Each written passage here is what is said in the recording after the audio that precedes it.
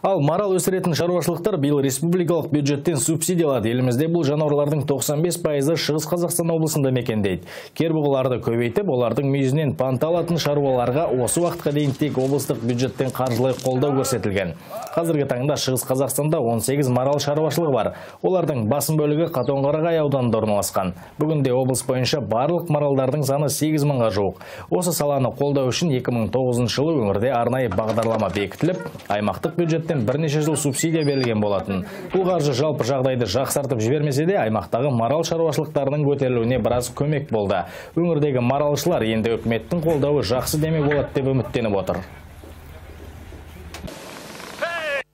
өте жақсы жаңалық бізге биылдан бастап республика бюджеттен әр аналыққа 41 мың теңгеден беретін болып жатыр оның бәрін басталғанда қазір ұрықтандыру жұмысы басталғанда сол кезде біз мәлімет береміз. Сол бойынша қанша бас кірді соған сол бойынша субсидия аламыз деп ойлап отырмыз.